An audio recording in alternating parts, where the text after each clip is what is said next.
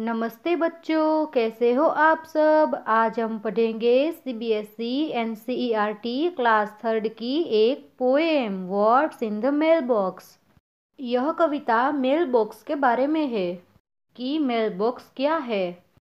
यह कविता में एक बच्चा है, उसके घर पोस्टमैन आता है लेटर्स लेकर।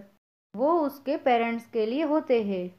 तो चलिए बच्चों, पढ़ते हैं इस पोएम को words in the mail box Most always when the postman comes with letters, two or three, they are for my mother or my dad, but never one for me.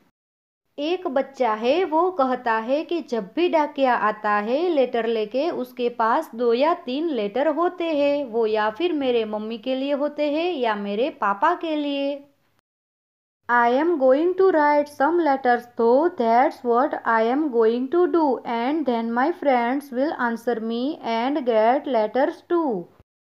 फिर वो सोचता है कि मैं भी लेटर लिखूँगा और जिसको मैं अपने दोस्तों को भेजूँगा तो मेरे दोस्त लेटर्स के बदले में आंसर्स करेंगे वो मुझे भी लेटर भेजेंगे जिससे मुझे भी लेटर्स मिल जाएँगे तो बच्चों, ये थी आपकी poem words in the mail box अब हम करेंगे इसके word meanings word meanings words यानी कि क्या है? इन यानी कि मैं मेल बॉक्स यानी कि मेल बॉक्स मोस्ट यानी कि अधिकांश ऑलवेज यानी कि हमेशा वैन यानी कि जब। पोस्टमैन यानी कि डाकिया गेट यानी कि पाना। कम्स यानी कि आता है लेटर्स यानी कि पत्रों टू यानी कि दो थ्री यानी कि तीन माई यानी कि मेरे मदर यानी कि माँ डैड यानी कि पापा नेवर यानी कि कभी नहीं गोइंग यानी कि जाना राइट यानी कि लिखना सम यानी कि थोड़ा धैन यानी कि बाद में फ्रेंड्स यानी कि मित्रों आंसर यानी कि जवाब तो बच्चों ये थे आपके वर्ड मीनिंग्स अब हम करेंगे टेक्स्ट बुक सॉल्यूशंस और question answer Textbook solutions. Reading is fun. Question first Who does the postman bring letters for?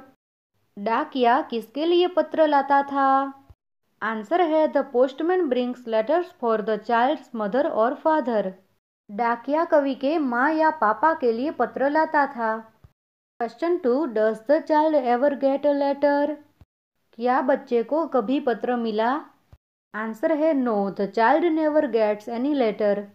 नहीं, बच्चे को कभी कोई पत्र नहीं मिला। Question three what does the child decide to do बच्चे ने क्या तय किया? आंसर है the child decides to write letters to his friends बच्चे ने उसके मित्रों को पत्र लिखना तय किया।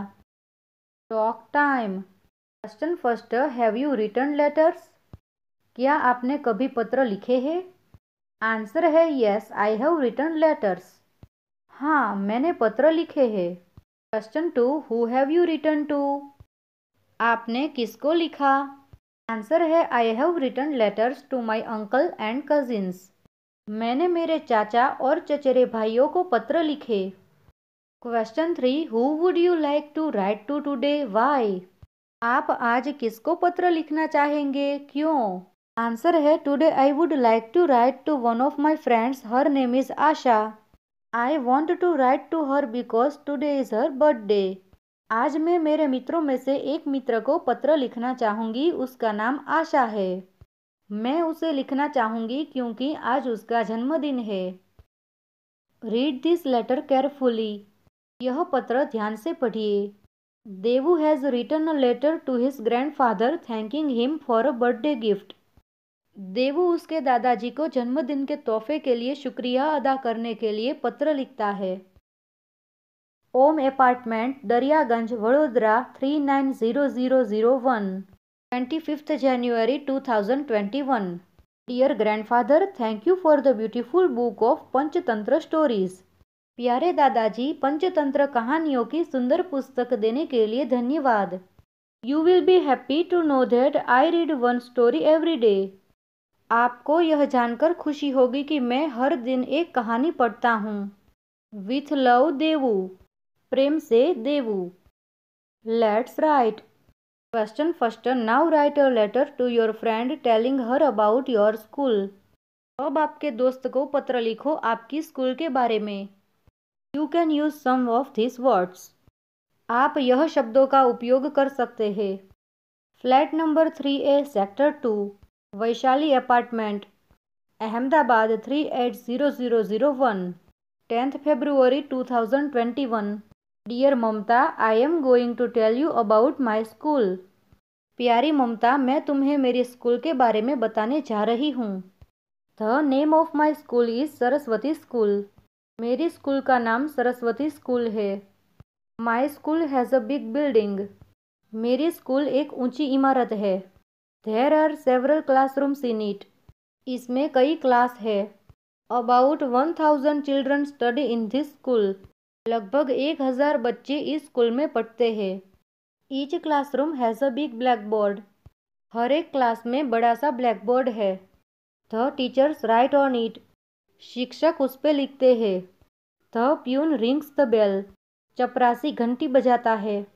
With love yours lovingly Mitali प्रेम से तुम्हारी प्यारी Mitali.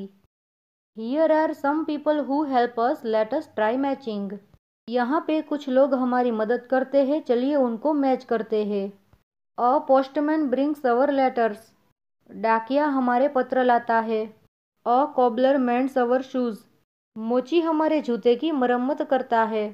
A librarian works in a library पुस्तकालय का अध्यक्ष पुस्तकालय में काम करता है। A, driver drives a motor vehicle. Driver car वाहन को चलाता है। A, dramatist writes play. नाट्यकार नाटक लिखता है।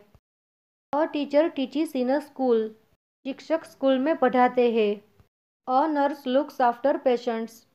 Nurse दर्दियों की देखभाल करती है। A, musician plays musical instruments. संगीतकार संगीत के उपकरणों को बजाता है। An astronaut travels in a spacecraft. अंतरिक्ष यात्री अंतरिक्ष यान में सफ़र करता है। A clown makes people laugh. विदूषक लोगों को हंसाता है। तो बच्चों, ये थी आपकी poem words in the mail box हमने ये पूरी पोएम पढ़ी, इसके वर्ड मीनिंग्स किए और एक्सरसाइज भी की। मैंने ये वीडियो प्लेलिस्ट में डाली हुई है C B S C N C E R T class three Hindi में।